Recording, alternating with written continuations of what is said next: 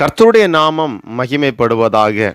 இந்த இரவு ஜெபத்தின் மூலமாய் உங்களை சந்திப்பதில் மிக்க மகிழ்ச்சி அடைகிறேன். ஆண்டவர் கிருபையால் ஒவ்வொரு நாளும் தம்முடைய சிறகு நிழலில் மறைத்து நம்மை வழிநடத்தி வருகிறார்.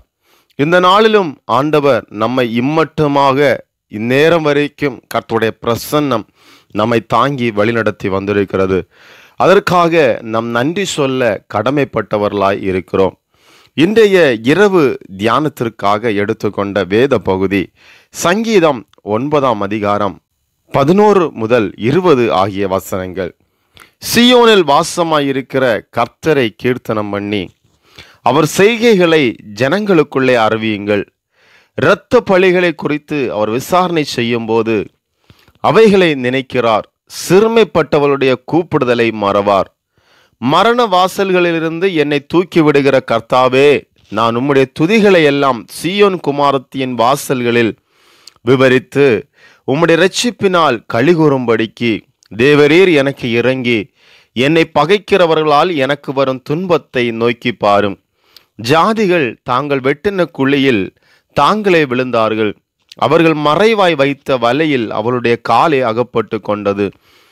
கர்த்தர் தாம் செய்த நியாயத்தினால் அறியப்படுகிறார். துன்மார்க்கன் தன் கைகளின் செய்கையினாலே சிக்கிக் கொண்டான். துன்மார்க்கரும் தேவனை மறக்கிற எல்லா ஜாதிகளும் நரகத்திலே தள்ளப்படுவார்கள். எளியவன் என்றைக்கும் மறக்கப்படுவதில்லை.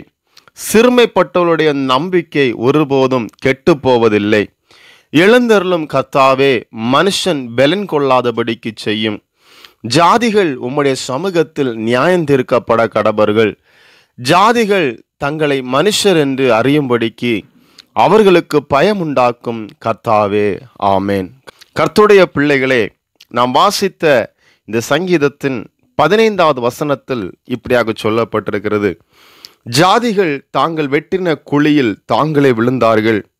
அவர்கள் மறைவாய் வைத்த வலையில் அவர்களுடைய காலே அகப்பட்டு கொண்டது என்று சொல்லி.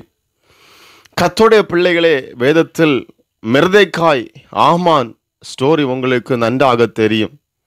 மிருதைக்காய்க்கு விரோதமாய் ஆமான் செயல்படுத்தின சதி திட்டங்களை எல்லாம் நிர்மூலமாக்கி மிருதைக்காயை கொலை செய்யும்படி ஆமான் தன்னுடைய வீட்டில் தூக்கு மரத்தை கட்டி வைத்திருந்த போதும் கடைசியாக கட்டின அந்த தூக்கு மரத்தை நிறுவின ஆமானையும் அவன் குடும்பமும் அதே தூக்கு மரத்தில் தூக்கப்பட்டு இறந்து போகிறதையும் வேதத்தில் நாம் பார்க்கிறோம் எஸ்தர் புஸ்தகத்தில். கர்த்துடைய பிள்ளைகளே உங்களுடைய வாழ்க்கையிலும் அனுதின வாழ்க்கையிலும் உங்களுக்கு விரோதமாய் சத்துருக்கள் பல நிலைமைகளில் உங்களை பழி வாங்க வேண்டும் என்கிற நோக்கத்தோடும் உங்களுக்கு விரோதமாய் செய்ய வேண்டும் என்கிற நோக்கத்தோடும் பல சூழ்ச்சிகளை உங்களுக்கு விரோதமாய் செய்யலாம். ஆனால் கர்த்துடைய பிள்ளைகளுக்கு அந்த கண்ணிகளிலிருந்தெல்லாம் விடுவிக்கிற தேவன் நாம் ஆராதிக்கிற தேவன். அந்த கண்ணிகள் ஒன்றும் அந்த குழிகள் ஒன்றும் நம்முடைய வாழ்க்கையில் நமக்கு விரோதமாய் செயல்படாதபடிக்கு நாம் ஆராதிக்கிற நம்முடைய தகப்பன் அதிலிருந்தெல்லாம் விடுவித்து நம்மை பாதுகாப்பாராக. ஜெபத்தில் கலந்து கொண்டிருக்கிற எனக்கு அருமையான தேவனுடைய பிள்ளைகளே ஆண்டவர் உங்களை ஒவ்வொரு நாளும் நடத்தி வருகிறார். இந்த பகல் முழுவதும் ஆண்டவர் பாதுகாத்தார். இரவு நேரத்திலும் கத்துடைய வல்லமை கூட இருக்கிறது. எந்த சத்துருக்கள் சூழ்ச்சிகளும் உங்களுக்கு உரதமாய் செயல்படாதபடிக்கு ஆண்டவர் உங்களை வேலையடைத்து பாதுகாப்பார். ஜெபிப்போமாம் பரிசுத்தமும் இரக்கமும் நிறைந்த எங்கள் பரலோக தகப்பனே இன்று பகல் முழுவதும் உடைய சரக நிழலில் எங்களை மறைத்து பாதுகாத்தீர் வழி நடத்தினீர் தாங்கி நடத்தினீர் நன்றி அப்பா. எத்தனையோ ஆபத்துகள் கொள்ளை நோயின் தாக்கங்கள் எத்தனையோ விபத்துகள் அது நடுவில் எல்லாம் உடைய பிள்ளைகளாகிய எங்களை உடைய சரக நிழலில் மறைத்து நீ பாதுகாத்து வழிநடத்தி வருகிற மேலான அன்புக்காக நன்றியோடு ஸ்தோத்திரம். சத்துருவின் கிரியைகள் மனித சூழ்ச்சிகள் அதன் நடுவிலும் எந்த சூழ்ச்சிகளுக்கும் எந்த கிரியைகளுக்கும் இடம் கொடாதபடி எங்களை தப்புவித்து பாதுகாக்கிறதுக்காக நன்றியோடு ஸ்தோத்திருக்கிறோம்.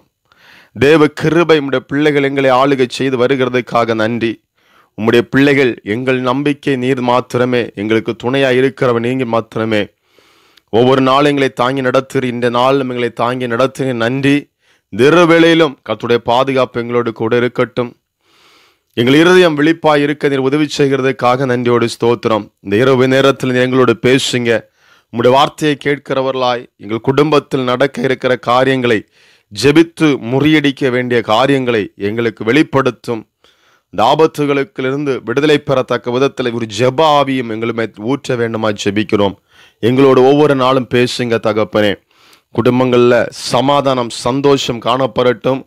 இந்த பிள்ளைகள் குடும்பம் ஆசீர்வாதமாக இந்த பிள்ளைகள் ஒவ்வொரு நாளும் காணப்படுது உதவி செய்கிறதுக்காக நன்றி. இந்த பிள்ளைகளை நீர் ஆசீர்வதிப்பீராக. இந்த பிள்ளைகளை சுற்றும் தேவதூட பாதுகாப்பு எப்பொழுதும் கூட இருக்க வேண்டுமா ஜெபிக்கிறோம். பாதுகாத்து நடத்தும் ஆசீர்வதித்து நடத்தும்.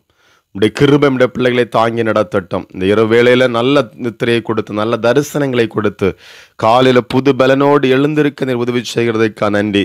பலவீனத்தோடு இருக்கனோட பிள்ளைகிட பலவீனங்கள் எல்லாம் மாற்றி போட்டு நாளை காலில் ஒரு புது பலனோடு எந்திரிக்க உதவி செய்கிறதுக்கா நன்றி. வேலை செய்கிற இடங்கள் உள்ள அலுவல்கள் பழுகள் அந்த பாடுகள் வேதனைகள் கஷ்டங்கள் எல்லாம் மாறி ஒரு சமாதானம் சந்தோஷம் உண்டாக நீ உதவி செய்வீராக. உடைய பிள்ளைகளுக்கு விரோதமாய் செயல்படுகிற எல்லா சத்துருக்களின் கிரியைகள் வேலைக்கு விரோதமாய் குடும்ப வாழ்க்கைக்கு விரோதமாய் செயல்படுகிற எல்லா அந்தகார கிரிகள் இயேசுவின் நாமத்தால் நிர்மலமாக்கி ஜெபிக்கிறோம். ஒரு சமாதானம் சந்தோஷம் வெளிப்படட்டும். தேவ கிருபமுடைய பிள்ளைகளை ஆளுகிச்சு நடத்தட்டும். இயேசுவின் நாமத்தில் ஜெபிக்கிறோம். ஜீவனுள்ள நல்ல பிதாவே ஆமீன். கத்துடைய பிள்ளைகளே ஆண்டவர் உங்களோடு கூட இருக்கிறார். அவர் தம்முடைய சிறகின்ல உங்களை எப்பொழுதும் பாதுகாப்பாராக. சந்தோஷத்தோடு படுத்துக்கொள்ளுங்க நாளைக்கு புது பலனோடு எந்திரிச்சு புது பலனோடு வேலைகளை செய்ய ஆண்டு பலன் தருவார். God bless you